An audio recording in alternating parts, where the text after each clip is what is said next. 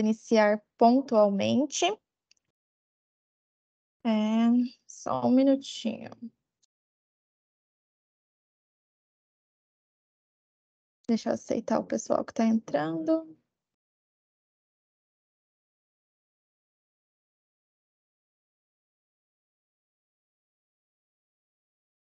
Bom, então, bom dia a todos. É, vamos dar início oficialmente à nossa palestra, a primeira palestra do Sprint 4. É, esse projeto, então, é, ele é o Habitat Senai Agro. Ele é um braço do Habitat Senai e ele surgiu é, para dar foco no agronegócio e surgiu, então, entre uma parceria do sistema CEPAR com o sistema FIEP. Ele tem por objetivos incrementar é, o processo de inovação, de estratégia de inovação para as cooperativas do agronegócio, e para isso, então, oferece apoio em estratégia de inovação, em produtividade, em conexão com startups e também com outros ecossistemas de inovação, além de contato com toda a nossa rede de institutos de tecnologia e inovação do Senai, tanto aqui do Paraná, onde nós estamos inseridos, quanto do Brasil como um todo. Fazem parte do Habitat Senai as cooperativas Copavel, Copacol, Copagril, Cevale, Primeza, Lar e Primato. É, hoje, o nosso time do Habitat Senai, nossa linha de frente aqui, é constituída pela Tatiane, que ela é consultora técnica do projeto.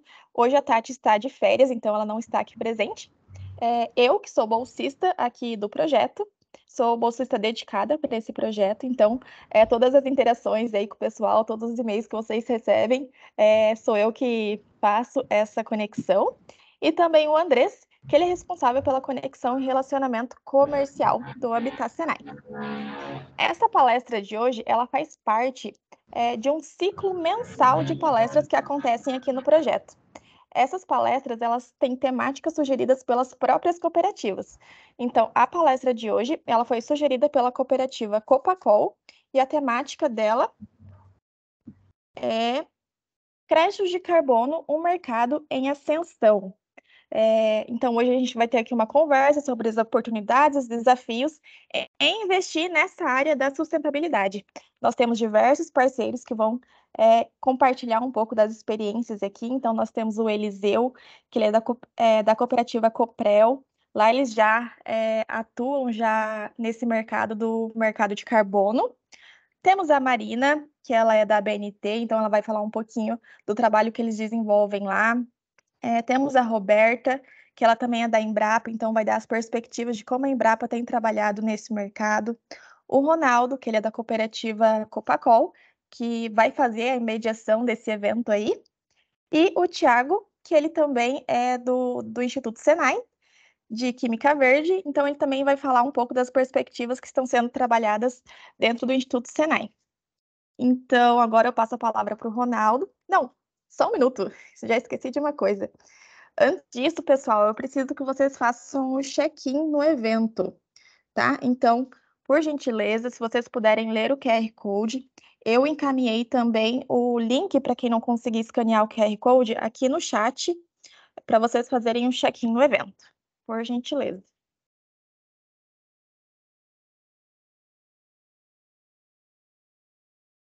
Enviar de novo, vou enviar de novo.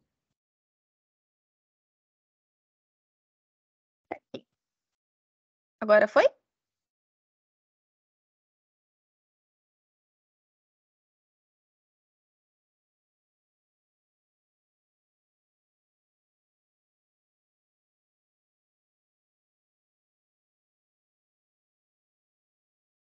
E deu, né, pessoal? Então, Ronaldo, agora a palavra é contigo. Bom Pode dia, Juliana. da apresentação. Bom dia. Tá, já, já te derrubo aí. É, bom dia especial a todos os presentes. É, preciso dizer que é uma satisfação estar falando com vocês, porque aqui a gente tem reunido as pessoas que, direto ou indiretamente, estão ligadas à inovação dentro das cooperativas. Legal? Antes da gente falar um pouquinho sobre o tema, eu queria só contar um pouquinho da, da cooperativa que eu represento hoje, que é a Copacol, que é um ano bastante importante para nós, que nesse ano a gente completa 60 anos. Mais especificamente no próximo dia 23 de outubro, a nossa cooperativa vai estar fazendo 60 anos. Vou colocar um videozinho rápido aqui que de repente dá uma ideia melhor sobre a grandeza da nossa cooperativa. Tá bem?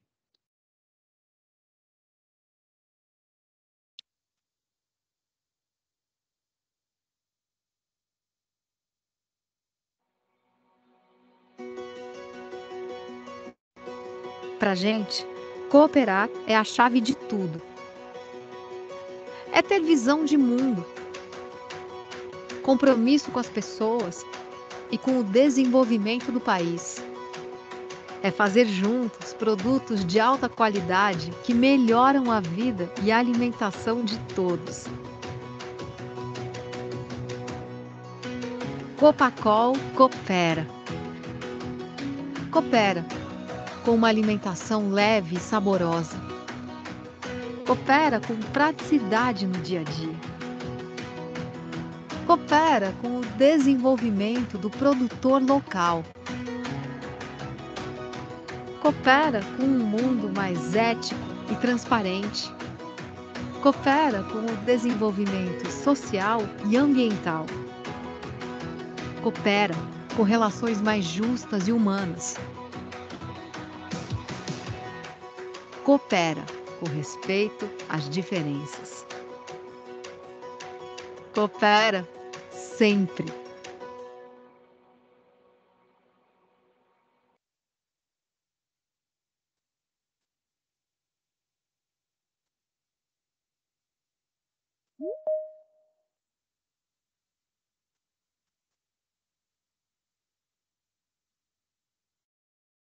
A gente viu algumas informações sobre a nossa cooperativa, tá? Um videozinho bem rápido, mas é importante só adicionar algumas informações, é, que a nossa cooperativa, ela está exportando hoje para mais de 77 países. Hoje a gente produz aí mais de 187 produtos, e a gente se orgulha é, de que nós não exportamos nenhum produto in natura. Tudo que a gente recebe do nosso cooperado, a gente transforma em proteína pronta para o consumo. Então, toda a renda gerada dessa transformação fica na comunidade, é, é distribuída entre cooperados e funcionários. Tá? Hoje nós temos mais de 7 mil funcionários, temos, aliás, temos mais de 7 mil cooperados ativos, atuantes na cooperativa, e mais de 16 mil colaboradores fazendo toda essa transformação e gerando toda essa renda. A nossa cooperativa, como eu mencionei para vocês, ela faz agora, no dia 23 do 10, 60 anos, completa 60 anos. Ela foi fundada é, por um grupo pequeno de cooperados, de agricultores, 32, e mais o, um padre que, que liderou tudo isso. Então, a gente gosta de pensar que, como a gente tem um padre aí na fundação, a gente é mais bem atendido aí às nossas orações. Legal? É, como eu me apresentei, é, Ronaldo Novaes, eu fico na função aqui da área agrícola como é, acesso a mercados, então fica na minha responsabilidade olhar para todas as oportunidades que nós temos para gerar é, novos negócios para os agricultores.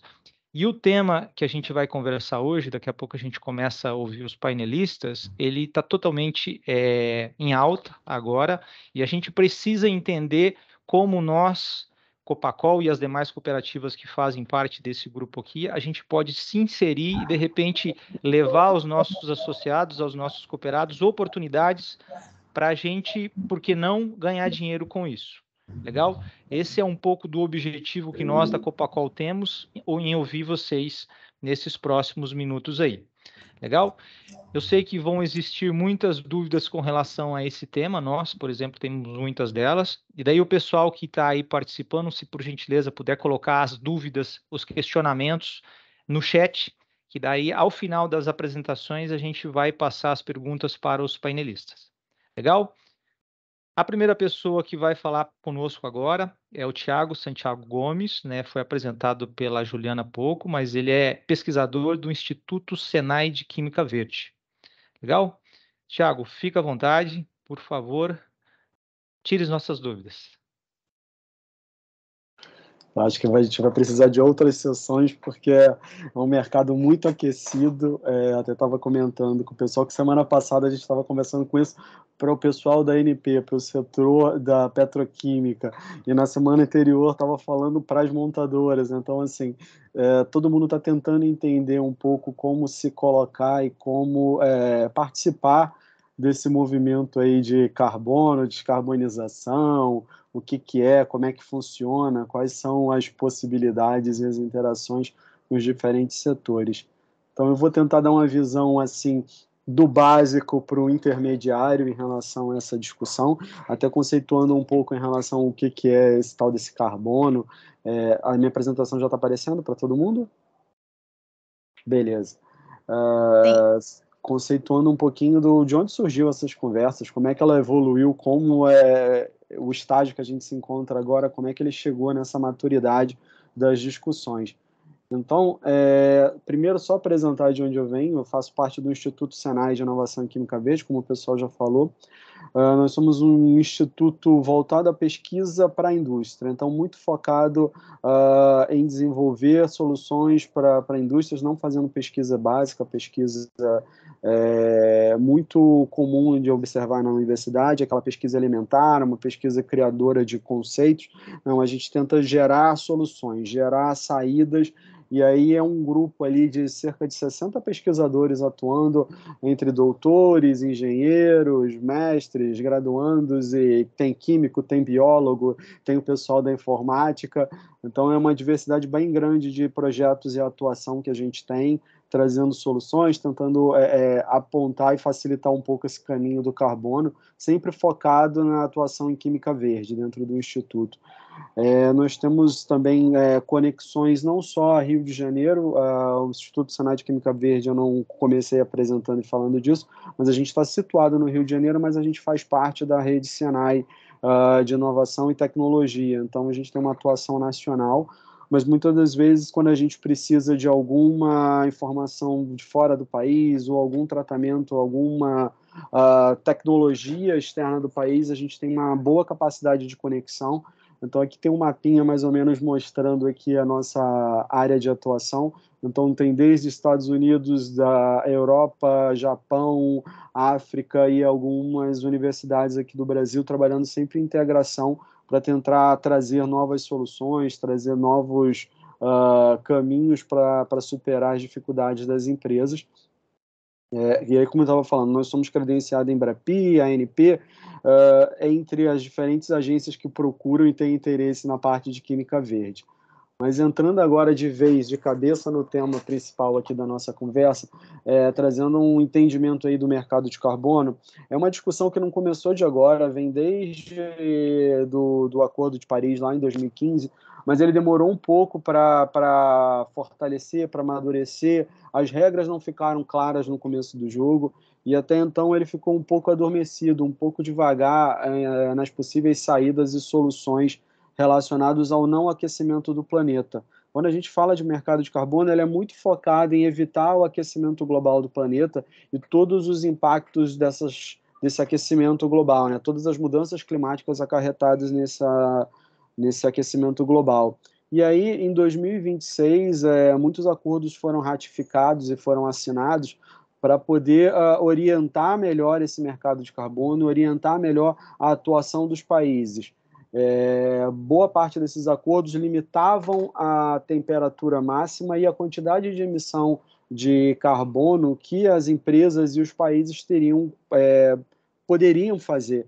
E com isso se gerou uma possibilidade de geração de crédito uh, para os países que não estão atingindo aquele limite superior, para poder negociar esses créditos. Uh, e, essa, e esse aquecimento global que a gente estava comentando agora do mercado de carbono, é, ele é um efeito natural, então provavelmente vocês já ouviram falar que isso faz parte, inclusive, para a própria é, crescimento de algumas plantas se faz necessário, porém a ação humana, a ação antropogênica, ela causou uma aceleração nesse aquecimento global e um efeito mais é, rigoroso em relação às mudanças climáticas. E aí, nesse sentido, é que se busca uma atuação mais incisiva da sociedade, das empresas, do, do, do planeta como um todo, para, um, entender quais são essas emissões, é, quais são os gases que são é, importantes e que fazem parte desse efeito estufa e que são emitidos pelo homem, que de alguma forma a gente pode atuar e reduzir essas emissões. E aqui eu listo quatro, quer dizer, três gases que são bem comuns. O dióxido de carbono, que é o famoso gás gerado ali da queima. Então, uma vez que você queima uh, um combustível num veículo, que você queima uh, algum resíduo, que você queima uh, algum combustível, você está emitindo dióxido de carbono e ele hoje é, de fato, o principal é, gás é, de efeito estufa, né, de aquecimento global, mas a gente também tem o metano, e o metano está muito relacionado a processos de degradação uh, de matéria orgânica, então uh, a gente escuta muito falar ali da vaca liberando metano, e ele está muito associado a isso, ela come a grama e essa degradação no estômago da vaca libera metano, que é um gás que tem um potencial de aquecimento global até maior do que o dióxido de carbono, mas que ele tem uma emissão menor e o óxido nitroso, que está muito relacionado com a correção de solo, a, a, aditivação do solo ali com nitrogênio, e você tem desdobramentos ligados a esse, essa colocação de, de, nitrogênio no solo, que é a produção do óxido nitroso, que também é um desses gases que contribui para o efeito estufa.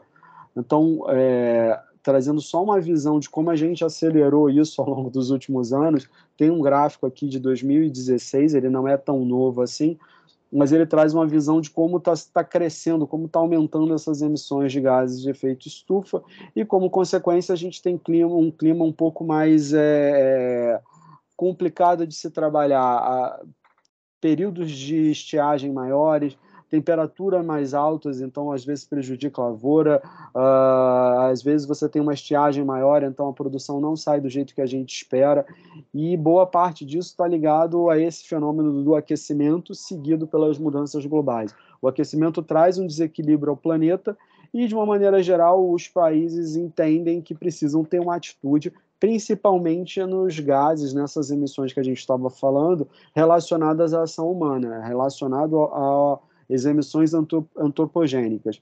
E aí, nesse sentido, começou-se a discutir muito do ah, o que, que as empresas vão fazer, como é que a gente vai responder essa demanda, como a gente vai trazer algumas soluções.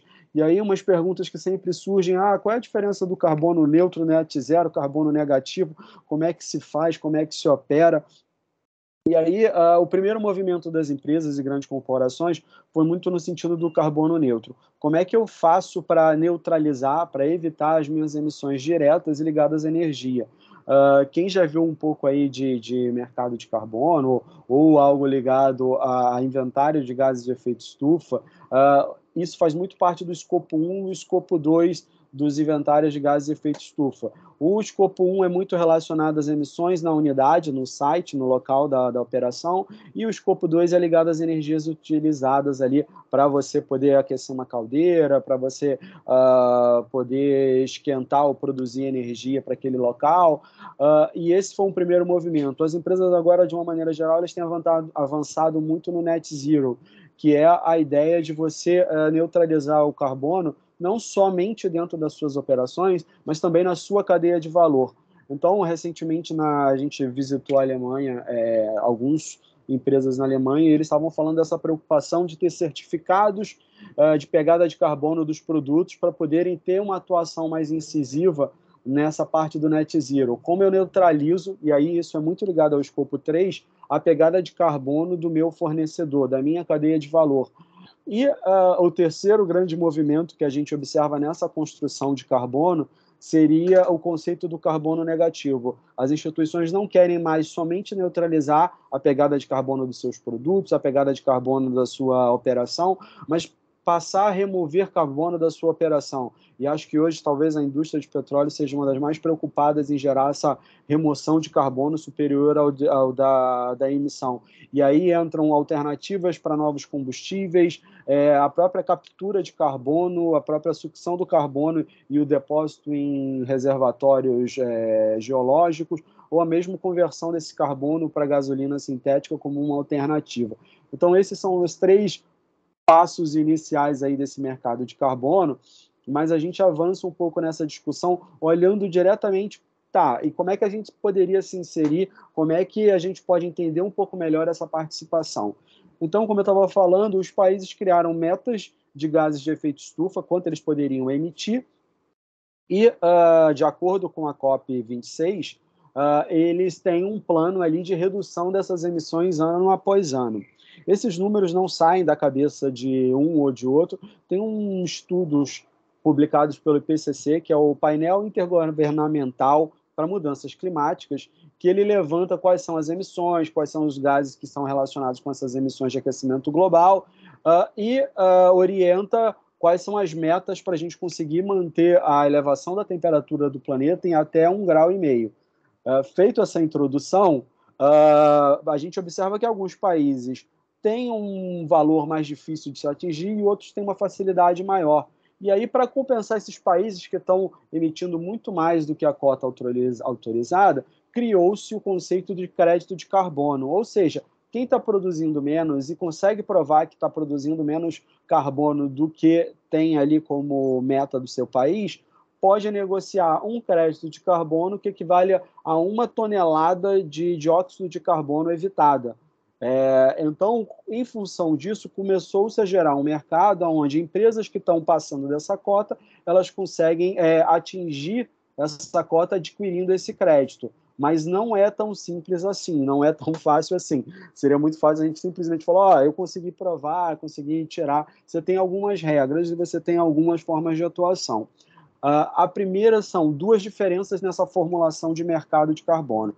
Tem-se o mercado regulado, aonde os países determinam as regras, como vai ser negociado, como vai funcionar essa troca, como vai funcionar essa comprovação.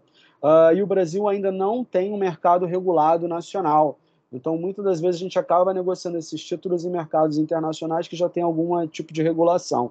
A gente aqui está trabalhando essa regulação, começou ali com a Política Nacional de Mudanças Climáticas e avançou para o mercado brasileiro de reduções de emissões para determinar qual é essa cota do Brasil, qual é o limite de emissão por setor e quanto poderia ser negociado por cada setor para se atingir essa meta dentro do país.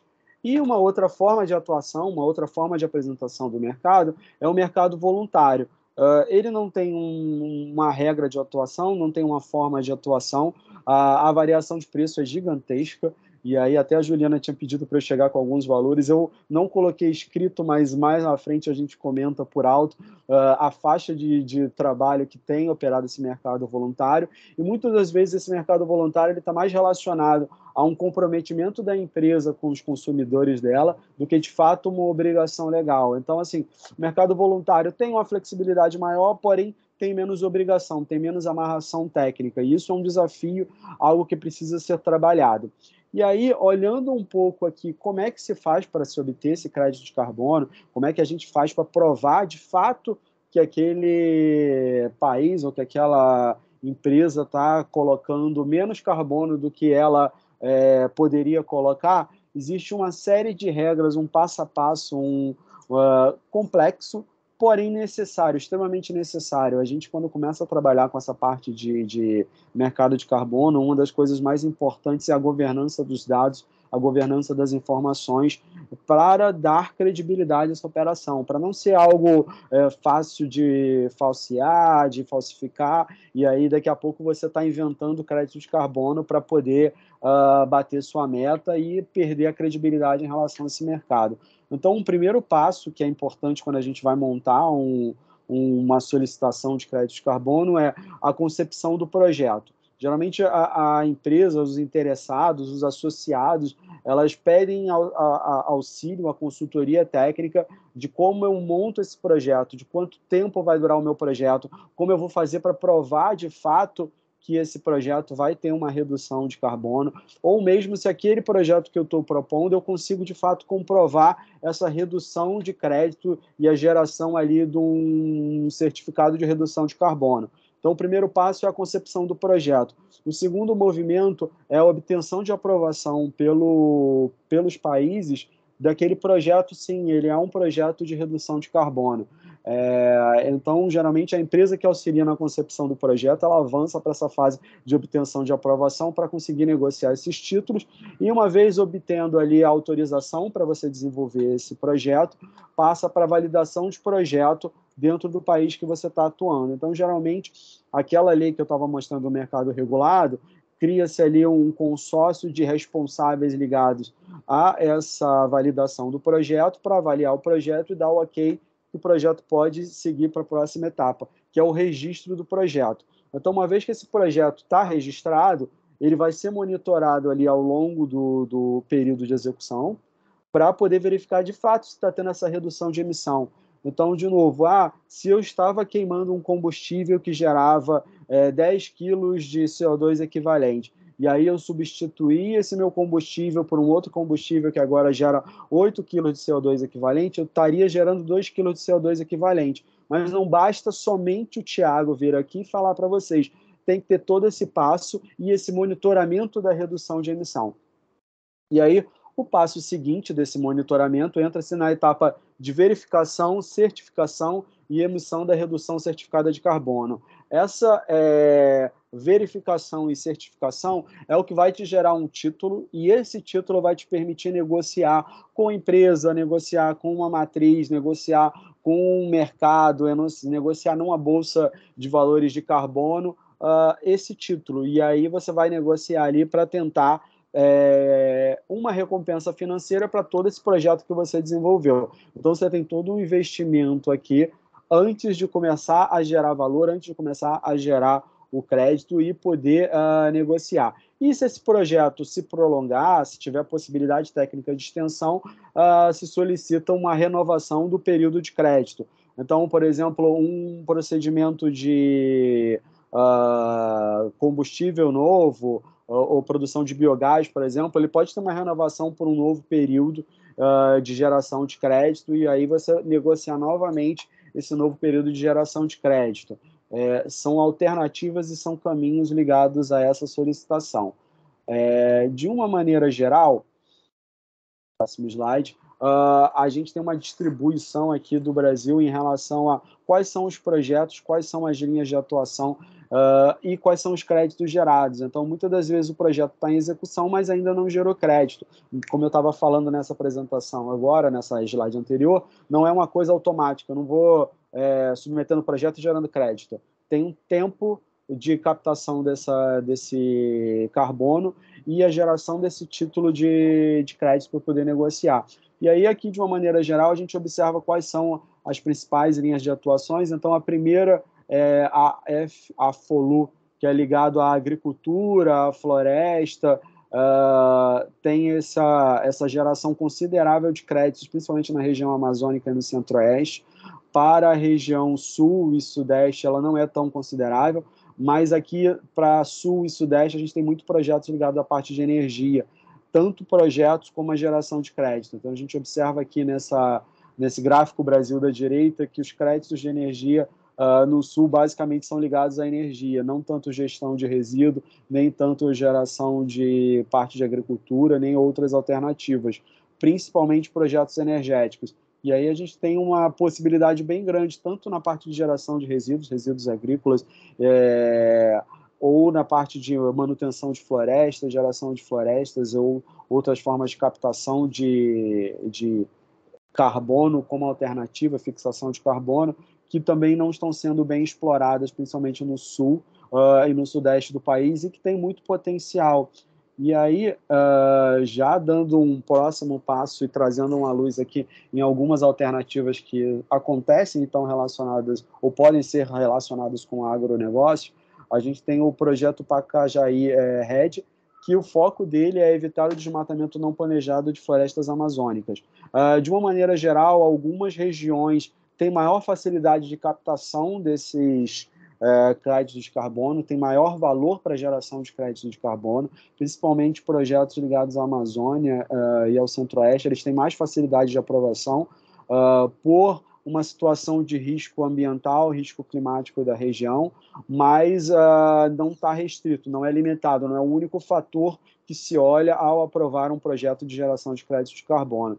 é uma outra alternativa é, dessa cerâmica Gomes de Matos, que ela substituiu o combustível fóssil tradicional por biomassa renovável na operação dela de cerâmica. E com isso gerou-se o crédito de carbono para esse projeto da Gomes de Mato Cerâmica. E a gente sabe do potencial maravilhoso de biomassa que a gente tem, principalmente do agro, que às vezes sobra ali um resíduo de um material agregado, de um produto mais valorizado, que a gente poderia estar pensando e trabalhando em alternativas para geração de crédito de carbono.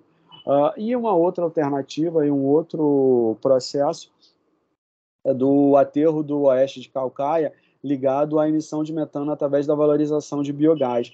A gente trabalha muito é, resíduos agrícolas para geração de biogás, a gente já teve alguns projetos ligados a isso e tem um potencial maravilhoso para você a, absorver parte desses resíduos da, da agricultura e converter em biogás então, assim, você pode ser remunerado não só pela geração do biogás, mas também pela própria é, geração de crédito de carbono para futuramente negociar. Então, é, são projetos e são negócios que a gente poderia agregar muito mais valor ao que está sendo entregue e uh, gerar mais recursos para serem investidos na produção, para serem investidos nas famílias e nas pessoas que operam nesse mercado.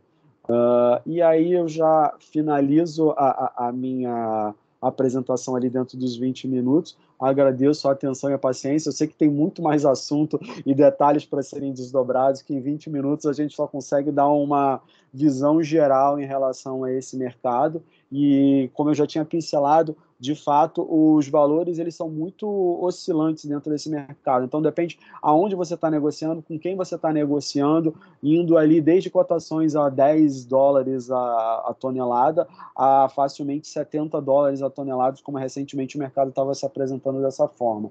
Então, assim, é um valor que eu geralmente evito de colocar escrito, mas para trazer, só para dar uma ideia para vocês na ordem de grandeza do que pode ser negociado, eu acho que é válido. E aí, Ronaldo, devolvo a palavra para você. Obrigado, pessoal que participou, que esteve aqui assistindo a palestra. Perfeito, Thiago. Deu para perceber nesses poucos minutos que você teve aí para falar sobre o tema o quão, quão difícil que é, mas estamos anotados aqui, daqui a pouco a gente vai fazer alguns questionamentos para ti. Legal? Pessoal que foi entrando agora, à medida que a palestra já tinha sido iniciada, a gente vai, a gente está recebendo as dúvidas, os questionamentos através do chat. Então mandem suas suas perguntas que ao final de todas as apresentações a gente vai questionar os painelistas. Bacana? É, agora eu convido a Roberta, que é pesquisadora da Embrapa Soja, para falar um pouco sobre o tema para nós.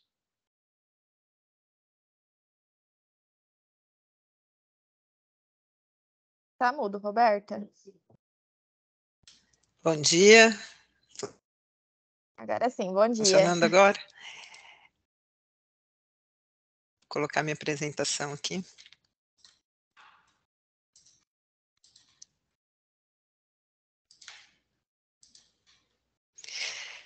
Bom, pessoal, eu vou falar um pouquinho para vocês uh, sobre a Embrapa e especificamente a Embrapa Soja e a gente vai seguir para o programa Soja Baixo Carbono.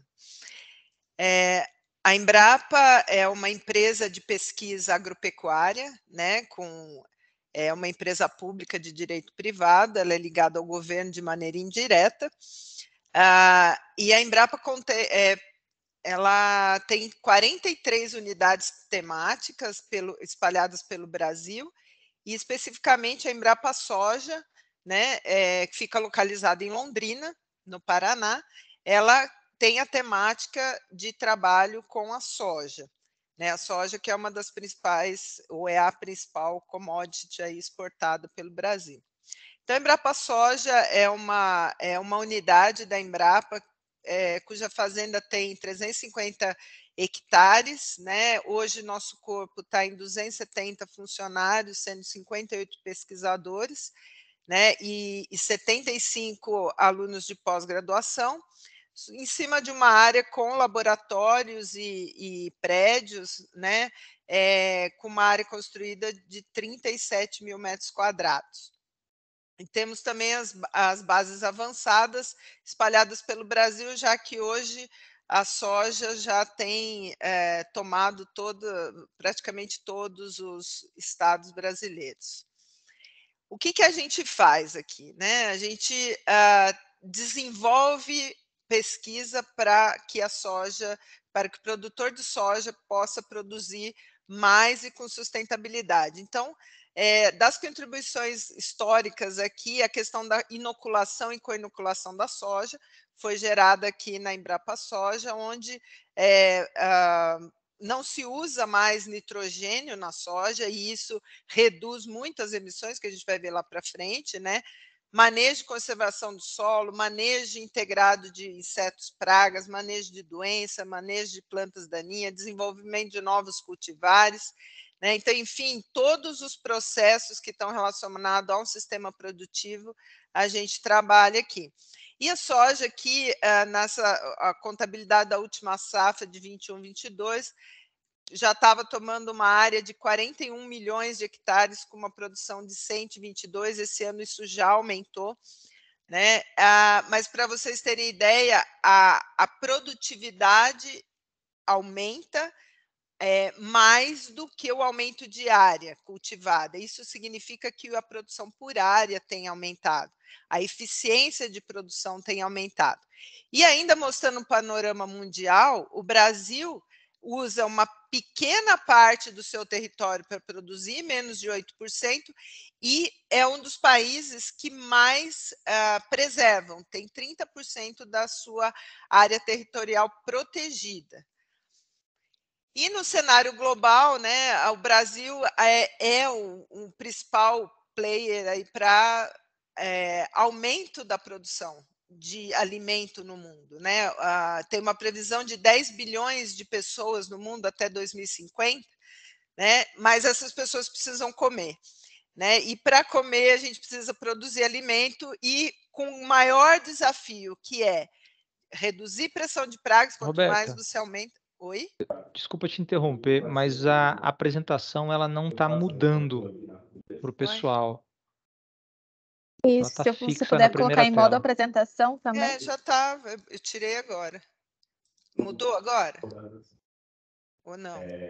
Agora mudou. Só não está só não tá em modo apresentação ainda. É, para mim tá. Vou tentar fechar e abrir de novo.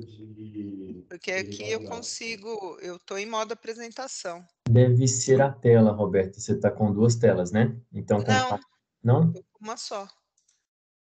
Eu vou, então eu vou descompartilhar e compartilhar de novo para ver se funciona. Não passou nenhum slide? Não, ficou no primeiro. Vou pôr em tela Mas a gente cheia. foi acompanhando aqui as informações, tá tudo é, certo. Eu vou pôr em tela cheia, ver se, se fica melhor. Daí vocês me avisam já no início. Vou passar aqui para o PowerPoint. Vem a tela? Vemos a tela. Agora está em modo apresentação. Sim. Está mudando? Sim, agora está mudou. Tá. É, então, é, então a Embrapa ela tem trabalhado com todas as suas temáticas voltadas para o aumento da sustentabilidade, além do aumento da produtividade. E todos esses temas têm sido usados é, no programa Soja Baixo Carbono, que é o que a gente vai explanar agora. Então, esse programa ele foi lançado em 2021 né, eh, foi a pedra fundamental, vamos dizer assim, né, faz parte, eh, eu faço parte da equipe é, gestora do programa, mas é um programa que envolve mais de 70 pesquisadores da Embrapa. Né? Então, qual que é o objetivo desse programa? Desenvolver e validar o protocolo de certificação voluntária com base é, com embasamento científico e reconhecido internacionalmente, que isso é muito importante. Não adianta a gente, como o colega diz, ter uma jabuticaba brasileira, a gente tem que ter um selo reconhecido internacionalmente, composto por indicadores mensuráveis, reportáveis e verificáveis. Então, vai ter uma avaliação quantitativa desse carbono que é emitido ou é, sequestrado, né? para que o produtor consiga a atribuição do selo soja baixo carbono. Para que, que ele vai querer esse selo? Para diferenciar e agregar valor à soja né, produzida num sistema de práticas e tecnologia sustentável, que reduz o potencial de aquecimento global por tonelada de soja produzida.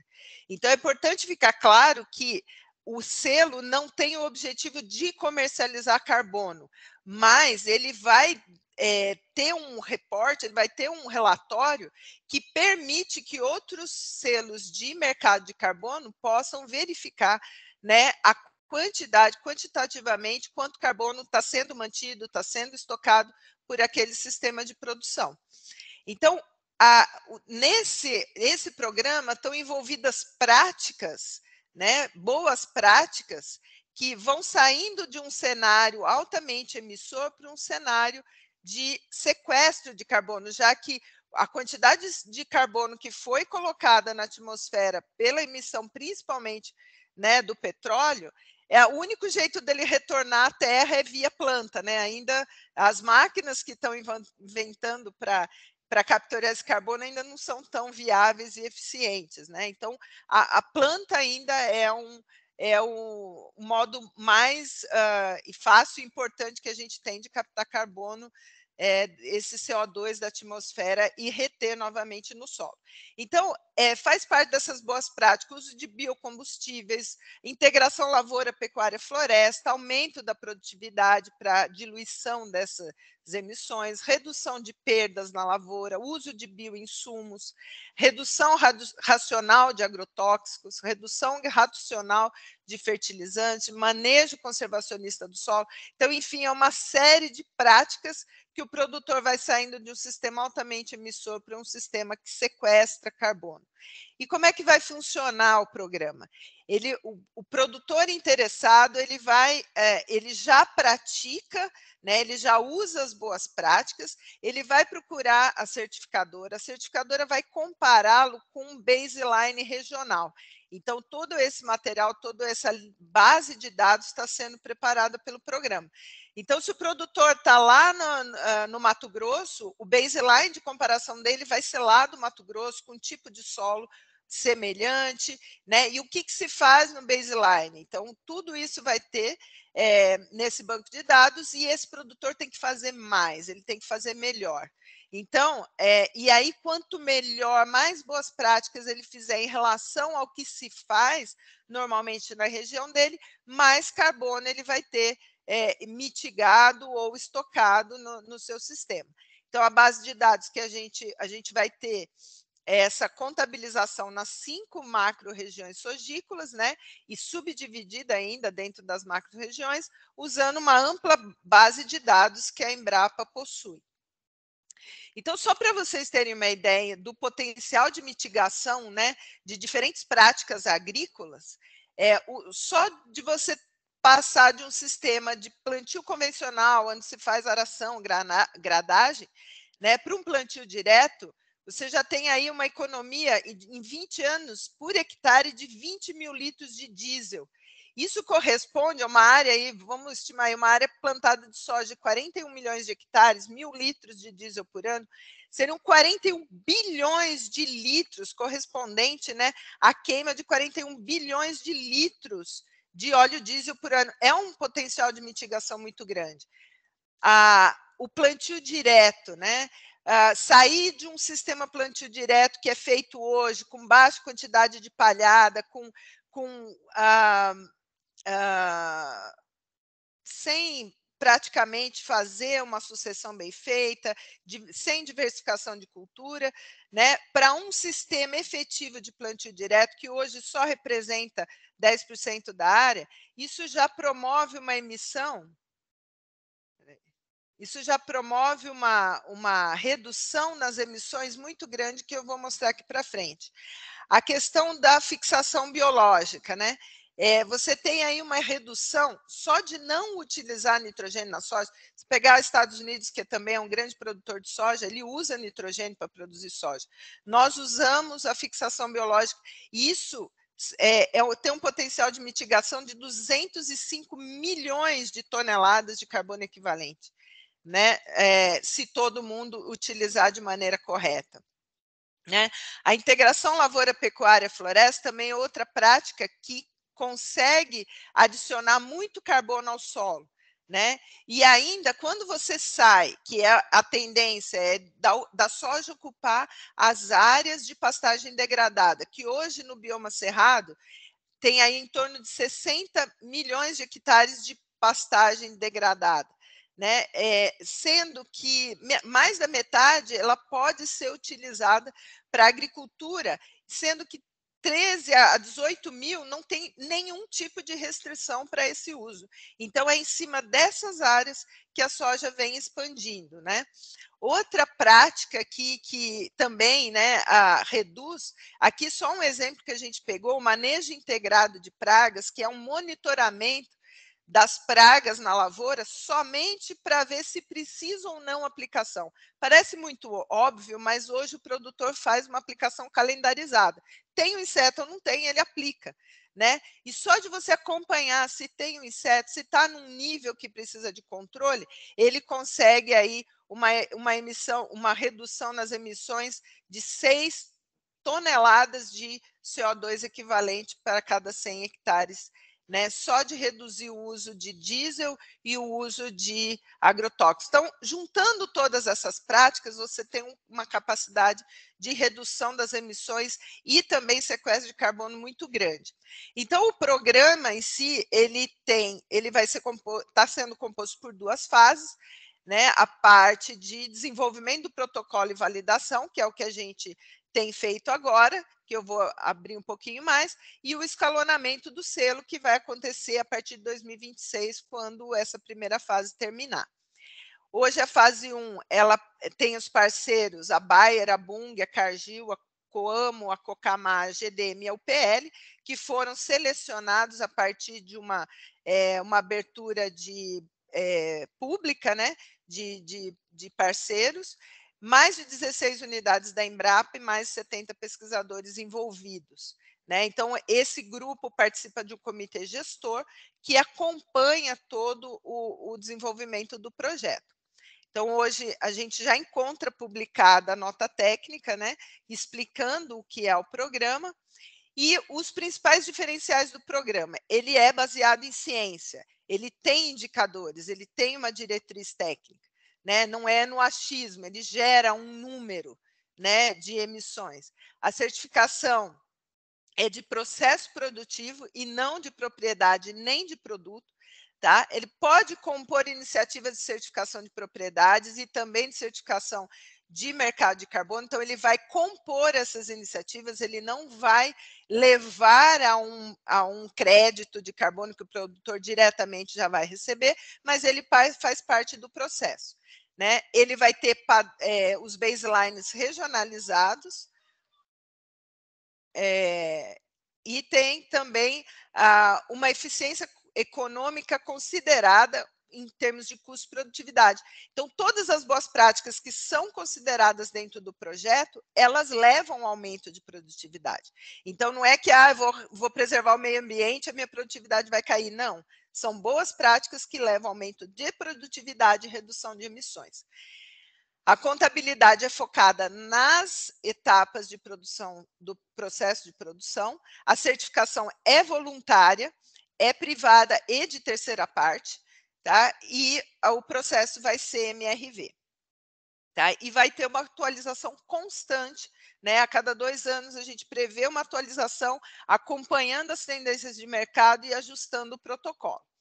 Então, esse aqui é um panorama do, do, nosso, do nosso trabalho, né? Iniciou com a nota técnica, definição do escopo, a registro de marca, né? Hoje a gente está nessa fase aqui, a gente já realizou as oficinas de especialistas, inclusive o Senai foi mediador, né? O Habitat Senai foi mediador dessas reuniões, né? Que ajudou bastante a gente. A gente está finalizando a, a escrita das diretrizes técnicas e vai seguir para a elaboração do protocolo seguido da validação em campo. Então, já nessa próxima safra, nós vamos escolher pelo menos 25 unidades pilotos, em cinco em cada macro região sogícola do país, e esse protocolo vai ser aplicado por duas safras. E aí os ajustes vão ser feitos no protocolo, ele vai ser registrado e disponibilizado para uh, que as certificadoras comecem a fazer o processo. Isso está previsto aí por volta de 2025. Então, pessoal, bem rapidamente, era isso que eu gostaria de conversar com vocês, né? E a gente vai estar disponível aí para perguntas no final do processo. Obrigada. Feito, Roberta.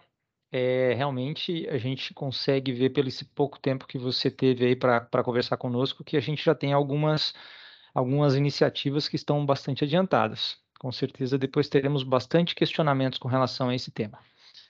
Agora eu convido a Marina, que é assistente técnica de certificação de sustentabilidade da ABNT, para dar sequência nas apresentações. Olá, bom dia a todos. Vou compartilhar aqui.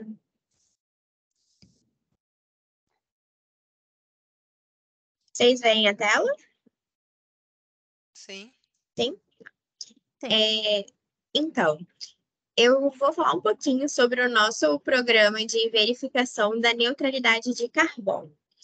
É, antes de começar propriamente dito, é, eu acho importante só fazer uma distinção para não causar um pouquinho de confusão é, na, na cabeça de ninguém, que na apresentação do Tiago, é, ele falou sobre o processo né, da validação do crédito de carbono e tudo mais, e esse processo, ele, no final né, dele, ele precisa ser certificado. Então, a gente está usando o termo de certificação do crédito de carbono, tá? que não é um serviço que a BNT presta atualmente. É, geralmente vem algumas dúvidas com relação à atuação da BNT nesse sentido, é, e o nosso programa que eu vou apresentar para vocês, ele é sobre a neutralidade de carbono, tanto de empresas como de é, é, eventos e várias possibilidades, tá?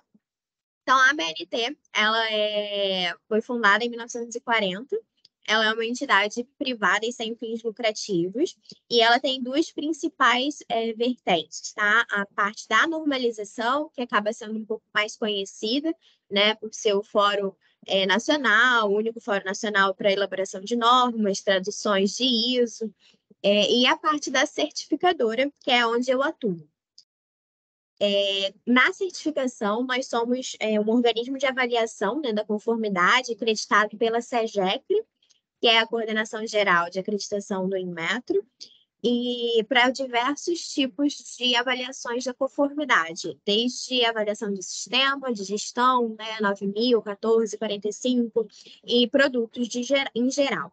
Na parte da sustentabilidade, hoje em dia, a gente conta principalmente com os programas de rotulagem ambiental do tipo 1, que é o nosso rótulo ecológico, da pegada de carbono, e a verificação do inventário de gases de efeito estufa, e temos também a verificação de neutralidade, que é o que a gente vai falar hoje, e também a verificação de ESG, que é o nosso produto mais recente. É, a ABNT, como normalização, ela participa de, dessas organizações, né, ISO, IEC é, e as demais, e a parte da certificação de sustentabilidade, nós somos membros do GEM, que é o Global Eco-Labeling Network, que é uma rede de rotuladores internacional. Então, toda a nossa parte de rótulo ambiental, a gente faz essa é, a gente faz parte dessa rede, então os nossos critérios e procedimentos eles estão alinhados de forma internacional. Então, o programa da neutralidade de carbono em si, é, a gente elaborou o procedimento, que é o nosso PE 476, e ele é, ele foi embasado numa norma é, que foi, na verdade, é uma prática recomendada, tá? Que foi lançada em 2022, que é a PR 2060.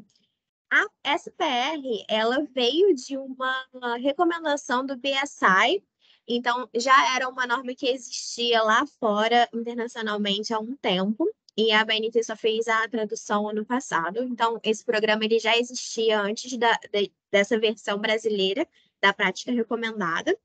E esse padrão 2060 ele foi utilizado como base para nossa avaliação da conformidade. Então, é, o que, que a gente leva em consideração de referências? A 2060, prioritariamente é, tangenciando a questão da neutralidade em si, e a 14064, parte 3, principalmente também, que é a norma que fala sobre os inventários de gases de efeito estufa.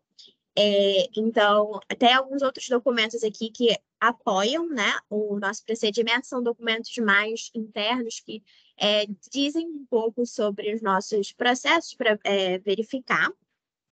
É, o, nosso, o nosso PG também, um procedimento geral da parte de pegada de carbono, e as especificações do GHG Protocol, tanto da parte de inventário corporativo, como na parte de pegada de carbono. Então, para que, que serve essa verificação?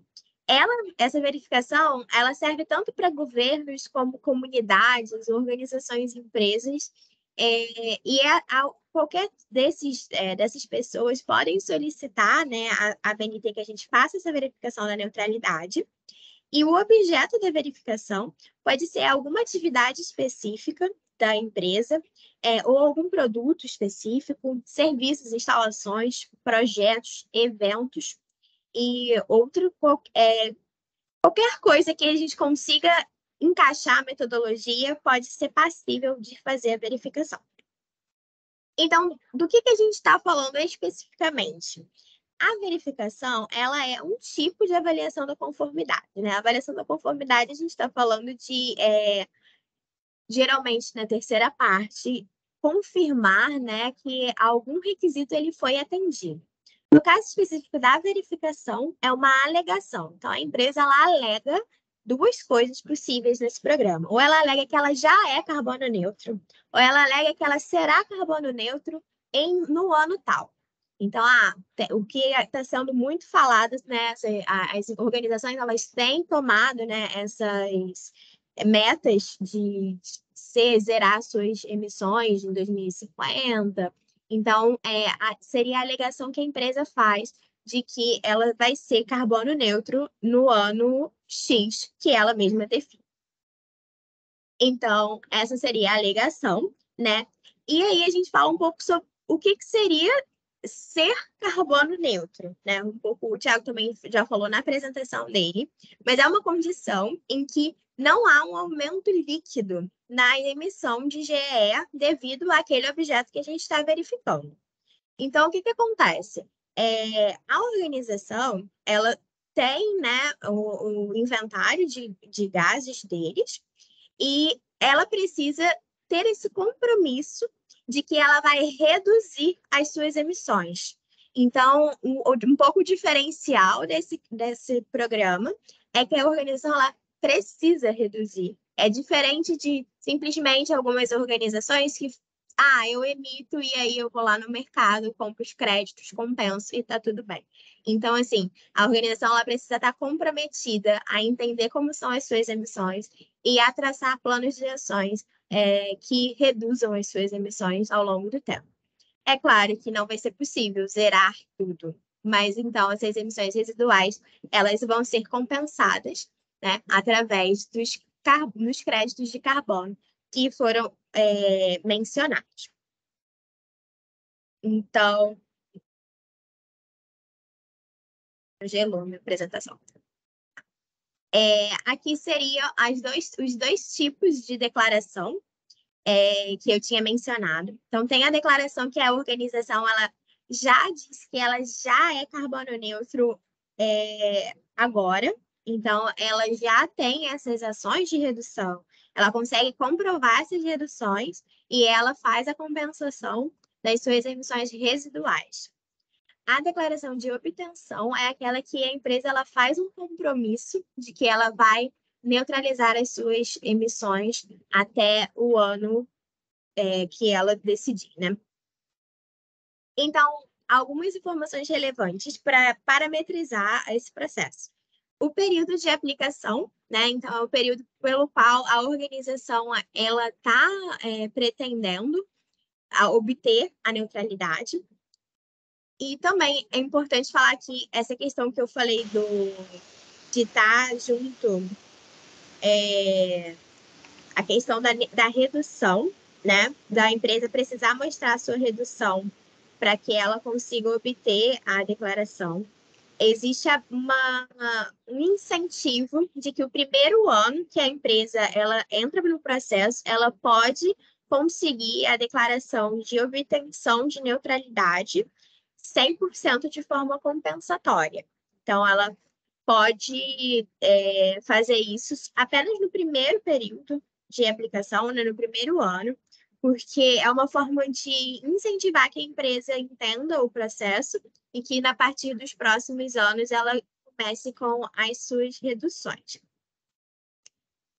Então, como que funciona o processo do, da verificação? Primeiro passo, a organização ela precisa definir qual vai ser o objeto da sua neutralidade. Pode ser a organização como um todo, pode ser alguma linha específica ou pode ser um produto. Então, a segunda parte é quantificar a pegada de carbono do objeto. Tá? É, a Juliana até tinha pedido também para falar os, é, os, desafios do processo e tudo mais. E esse é o grande, acho que é o grande gargalo atualmente, porque muitas pessoas vêm buscar a neutralidade e elas nem ao menos iniciaram o passo de fazer a sua pegada. Então, você não pode neutralizar uma coisa que você não sabe o que, que você está emitindo. Então, é, é primeiro passo fazer a sua pegada. E aí a empresa depois ela desenvolve né, esse plano de gestão, entendendo suas emissões, entendendo aonde vai ser feita é, as alterações do processo para que reduza as emissões. É, e aí depois ela requantifica, vendo se essas ações elas foram efetivas e o que sobrou, que não foi possível de ser reduzido e que é normal, e são chamadas emissões residuais, elas vão ser com, é, compensadas através da compra de créditos de carbono. E aí, então, é, pode ser considerada carbono neutro. É, aqui tem alguns planos, é, um plano de ação, né? Algumas é, foi foi celebrado um acordo aí com o, Mato, o estado do Mato Grosso é, nessa questão de neutralidade de carbono e aqui foram alguns dos é, algumas medidas que eles estão tomando lá para que para atuar né, nessa prevenção aí ao desmatamento. Então, também é, é um dos acaba vindo para a gente mais os projetos relativos à questão mesmo de desmatamento. É, então, aqui fala um pouco sobre restauração né, de paisagem, reflorestamento, manejo florestal e tudo mais. E, então, a questão do, da parte inicial, né, da pegada, né, do carbono. Quando a gente está falando que a, a, empresa ela precisa ter noção do que que ela é, emite, então vai depender do qual objeto que ela escolheu. Se ela está falando que ela vai fazer a, a, neutralidade da organização dela como um todo, então ela precisa apresentar o seu, a seu inventário né, de gases de efeito estufa corporativo seria aquele que é feito de acordo com a 14064, né? E, e, e é, existem organismos para verificar o inventário. Se o objeto que ela escolher for um produto específico, então a gente utiliza principalmente a 14067, que fala sobre a pegada de carbono. Né? Então, tem o GHG protocolo específico para a parte de pegada, e atualmente esse serviço, é, a gente oferece também esse serviço né, da verificação da pegada, mas não existe nenhum organismo acreditado.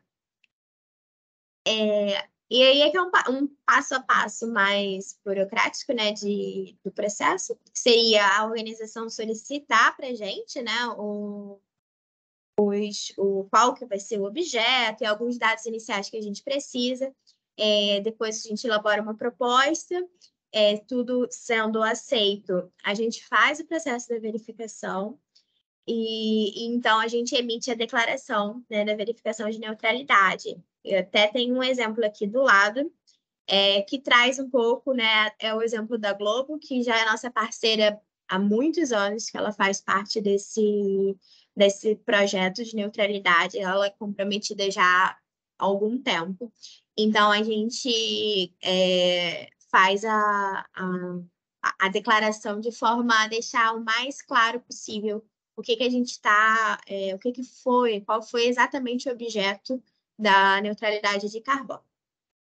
Aqui não tem a segunda folha, mas também sai a lista tá, dos créditos que foram comprados e dos links de os links de para verificar né, que os créditos foram aposentados.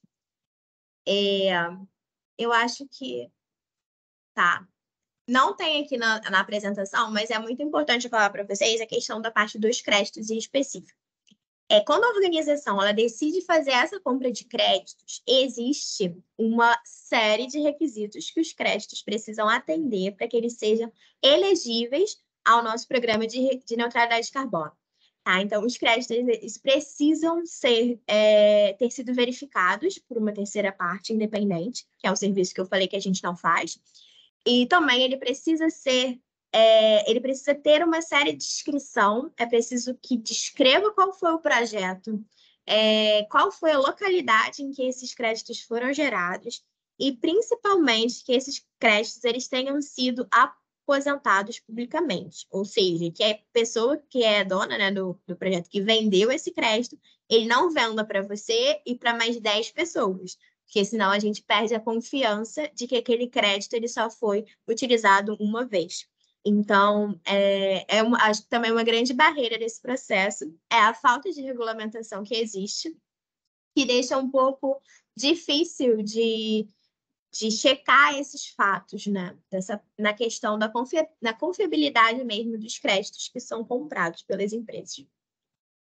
É, então, o processo de verificação ele pode ser ocorrer de forma remota ou presencial, isso é definido bastante de acordo com a a organização e os seus riscos.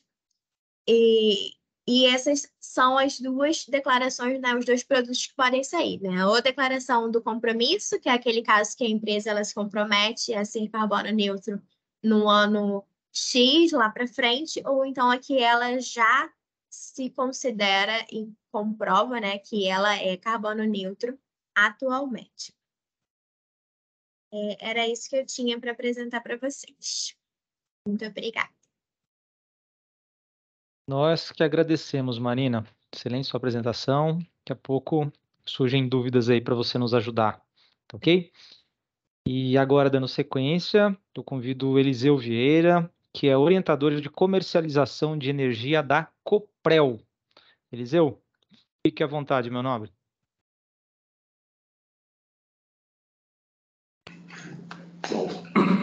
aos que foram entrando depois do início aí, meu muito bom dia. E parabenizo os organizadores do painel pela qualidade dos palestrantes até então, o que pode ser bom ou ruim, enfim, coloca a gente numa responsabilidade muito grande. É, eu vi que o foco até agora foi bastante técnico e até anotei alguns nomes aqui para buscar como referências para a gente poder seguir no desenvolvimento. Mas, assim, vou, a meu, minha participação vai ser inicialmente apresentar o Grupo Coprel, mais para contextualizar o porquê ele está participando desse painel, e, na sequência, passar uma visão de, primeiro, desse mercado de energia barra crédito carbono. Eu participei já de uma certificação eh, que iniciou em 2012, e a gente vem comercializando créditos carbono desde então. É, atualmente, na, na, a gente está atuando como comercialização de energia e buscando ser referência em solução para a energia. E aí eu venho escutando e sentindo as dores das outras correntes que também estão ou já é, interagindo na questão de crédito carbono ou buscando informação ou desenvolvendo, que são os consumidores, principalmente do agro. Eu falo de de cerealistas e, e produtores, a visão da indústria que auxilia a cadeia do agronegócio e que busca colocar seus produtos fora do mercado, fora do país. E, por fim, o que movimento que as comercializadoras de energia estão fazendo com olhando para esse mercado e buscando se organizar com liquidez para ele. Então, sem mais delongas, deixa eu só compartilhar um pouquinho a tela com vocês. Todos estão visualizando a minha tela? Sim. Ok.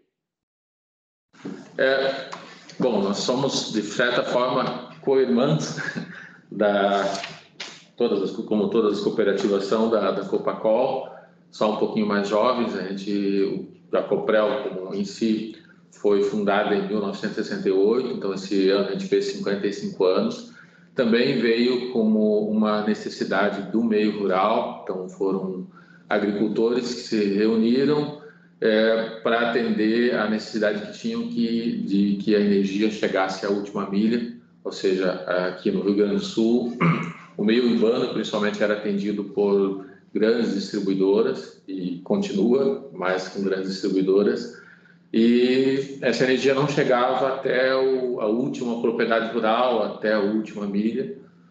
E a partir de então surgiu a Coprel como cooperativa de eletrificação rural.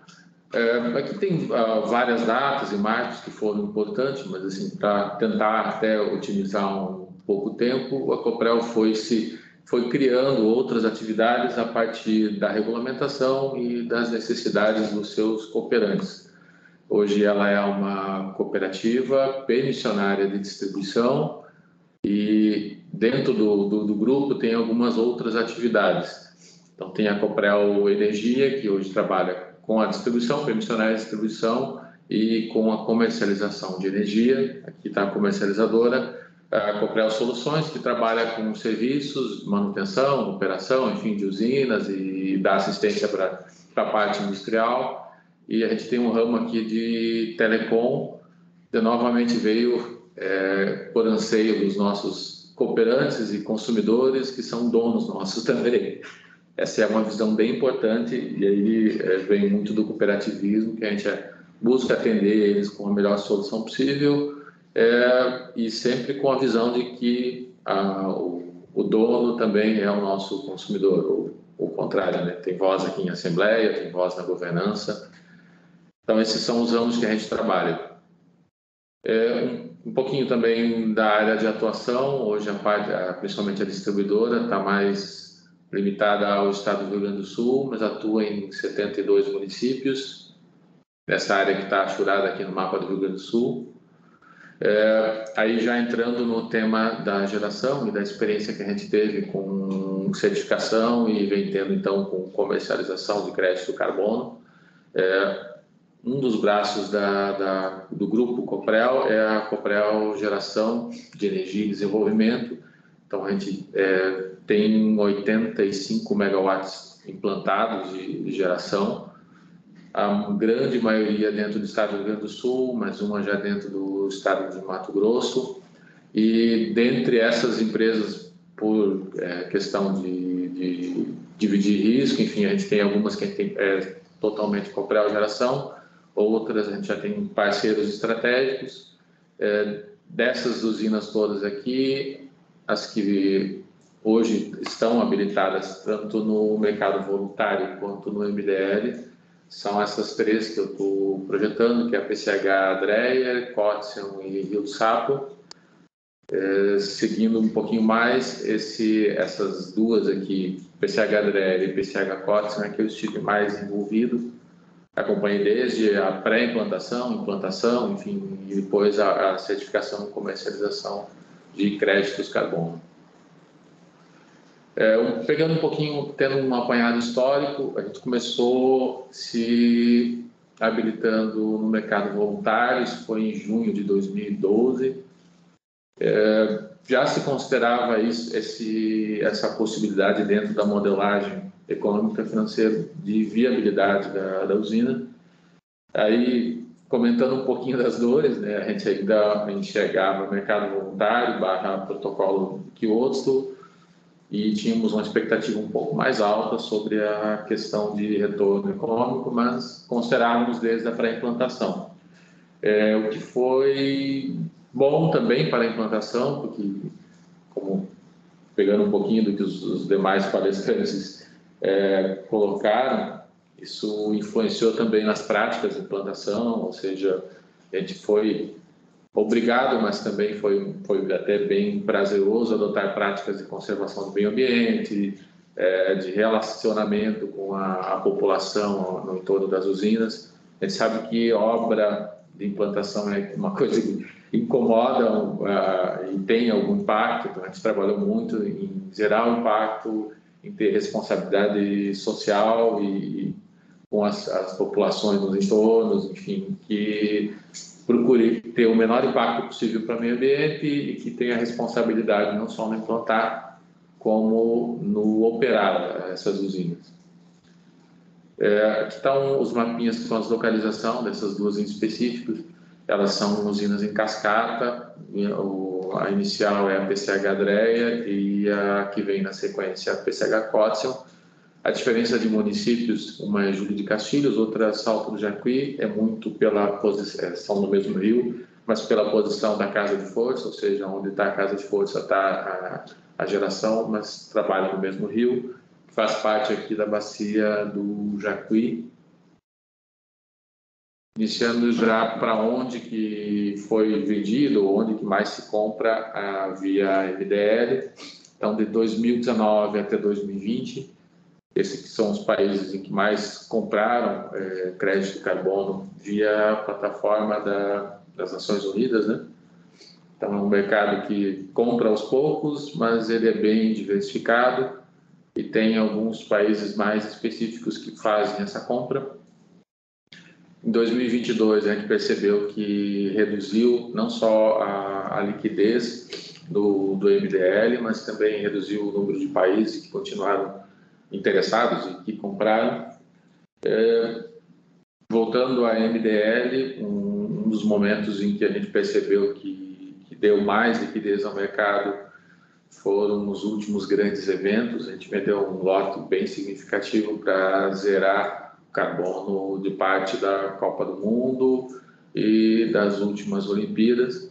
Então, é um mercado bem internacionalizado, mas aqui não, também não, você não, a nível comercial, não busca tanta prospecção, ou seja, ele é um mercado mais reativo, o trabalho é é, manter a habilitação, manter a, fazer a verificação dos créditos. É, quando fizemos a certificação, a gente contratou uma consultoria aqui do Brasil, até posso citar, foi a Carbo Trader, e quem veio fazer a verificação de MDL foi um birô internacional representado aqui no Brasil. Falando um pouquinho de mercado voluntário de crédito carbono, é, até o ano anterior, a gente não teve muita colocação no mercado, não teve muita liquidez e foi vendendo, como os, alguns palestrantes citaram aqui, ele não é tão regulado, enfim, não tem, não tem uma base fixa de preço. O último movimento de mercado que teve para esse mercado de VCS, que a gente percebeu como geração de energia, foi o movimento das criptomoedas, ou seja, tem algumas criptomoedas com base em crédito carbono que capturaram grandes quantidades e grandes volumes de crédito carbono, não só no nosso grupo, mas em alguns outros grupos de, de geração, e foi uma abordagem mais direta mesmo. É, citando um pouquinho também da experiência que a gente teve. Deixa eu só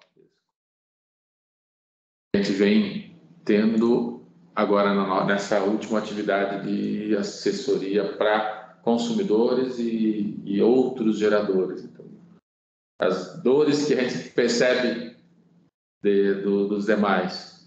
É, consumidores, cadeia de indústrias que estão dentro da corrente do agro.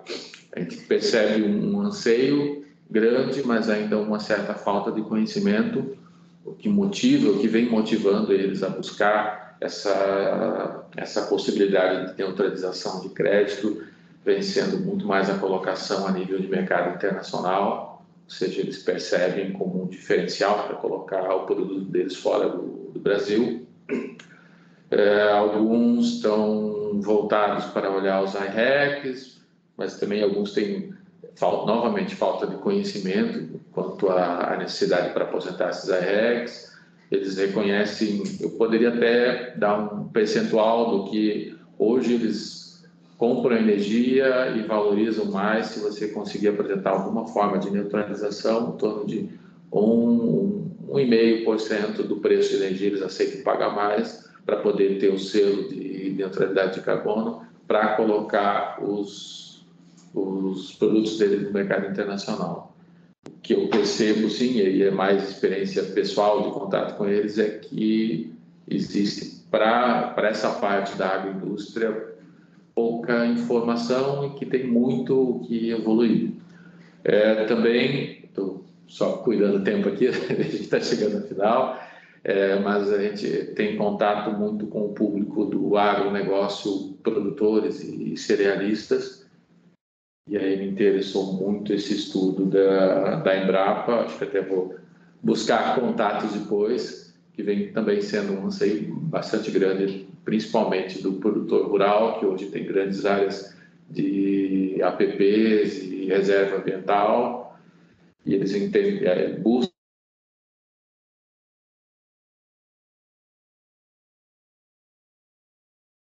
cima desse, dessa reserva florestal toda que eles não podem cultivar. Bom, em resumo, é mais isso, é mais experiência de quem está no mercado mais desenvolvido, com, que é da parte do gerador, entrando agora no mercado de, direto com consumidores, que a gente vê que tem um campo bem grande. A nível de comercialização, o que a gente percebe com os maiores players é que todos estão pesquisando uma forma de dar mais liquidez eu entendo que a Abracel, que é a Associação das Comercializadoras, deve juntar todos esses anseios e buscar, sim, mas num formato muito semelhante ao que tem hoje na BBCE, que é o balcão de energia, mas uh, indiferente do que, do que, do que é, é, estão todos focados em buscar liquidez para o mercado nacional e, e trabalhar no trade desse, desses créditos carbono de alguma forma.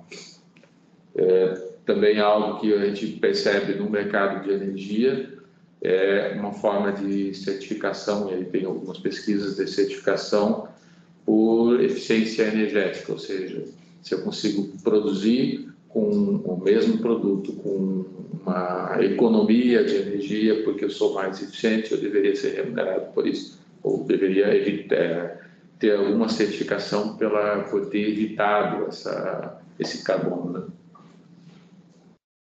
Acho que seria mais ou menos isso. Agradeço a atenção e fico à disposição para a próxima etapa de painel. Perfeito, Eliseu. Obrigado aí pela, pela sua explanação. E guardadas as devidas diferenças entre as nossas cooperativas desse lado e a Coprel, a gente quer, em, um período não tão distante, estar, estarmos como vocês, né? É, certificando, tendo nosso cooperado como um produtor de, de créditos de carbonos e a gente podendo, de repente, estar tá comercializando isso aí diretamente com, com players aí do mundo todo. Legal? É, nós estamos bem distantes é, do que vocês estão, mas a sua experiência nos mostra que, que há um caminho a ser percorrido, né? A gente viu os palestrantes mostrando quais são esses caminhos e como você mesmo citou, a Embrapa ela já tem um projeto é, que visa dar início nisso, é o primeiro passo, e nós, assim como você, também estamos de olho, já marcamos aqui, contato com a Roberta, ele vai ser logo na sequência. Meus amigos, é, nesse momento, é, passados os painelistas aí que mostraram todo o seu conhecimento, a gente abre pra, para perguntas, né? a gente tem o pessoal aí que pode fazer pode fazer utilização do chat para mandar as perguntas e a gente vai ler, e o pessoal que está diretamente aqui na, na sala, que pode abrir o microfone e fazer a pergunta diretamente ao palestrante.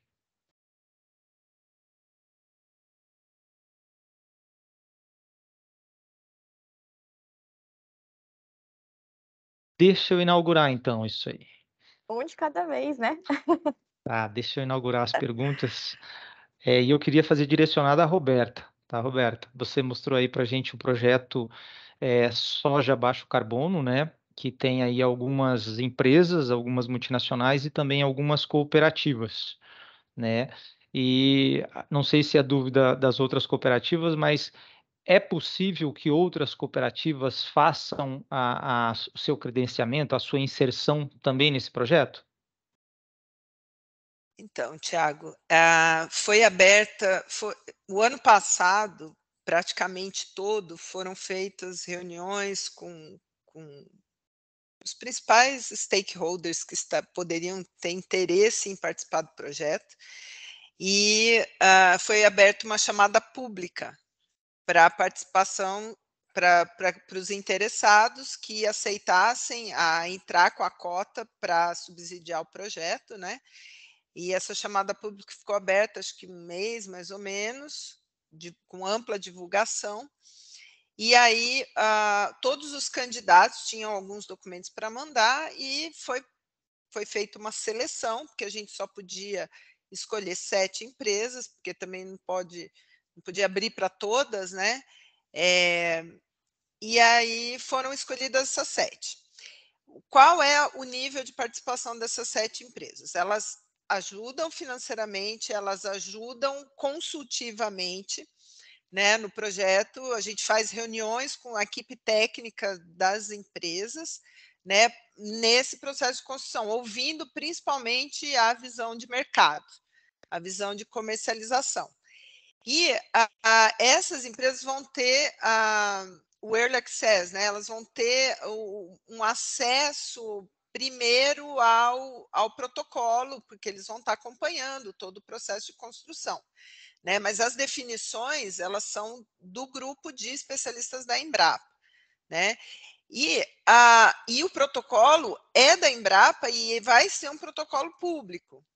Então, assim, nesse momento, as empresas elas têm alguns benefícios em termos de, de, de acesso à informação, em, em termos de treinamento e tal, mas elas não vão ser donas do protocolo. Isso que é importante ficar claro. Né? Elas não vão ter esse protocolo por algum tempo fechado e nenhuma outra empresa mais pode entrar.